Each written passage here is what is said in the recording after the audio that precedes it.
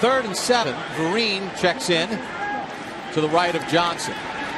Johnson under pressure. He's going to get sacked back at the 42 yard line.